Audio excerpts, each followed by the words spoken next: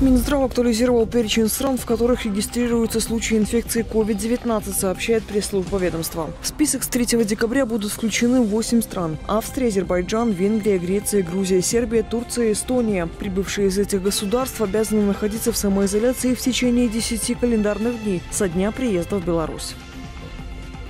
Справки и документы, срок действия которых истекает в период с 10 ноября по 10 мая 2021 останутся действительны еще полгода. Соответствующий указ подписал глава государства. Сюда относятся паспорт, вид на жительство, водительское удостоверение и медсправки. Например, если срок действия документа истекает 1 января, то он автоматически продлевается до 1 июня. Такое решение связано с неблагоприятной эпидобстановкой.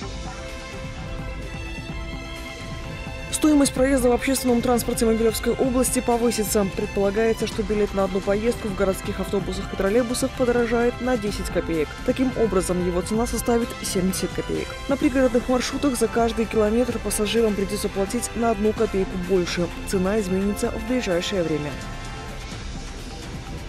Благотворительный марафон «Согреем детские сердца» проходит в Могилевской области. Он станет одним из ключевых мероприятий республиканской акции «Наши дети». На протяжении двух месяцев в регионе будут проходить разнообразные тематические мероприятия. Начинается марафон с традиционной недели милосердия. В Брестской крепости открылась новая экспозиция. Она рассказывает о вкладе республик СССР в общую победу в Великой Отечественной войне от первых оборонительных боев 41-го и до победного мая 45-го. Здесь представлены портреты героев, копии документов, материалы, повествующие о ключевых событиях войны, партизанском движении, жизни советского тыла. А выставка будет работать до начала января.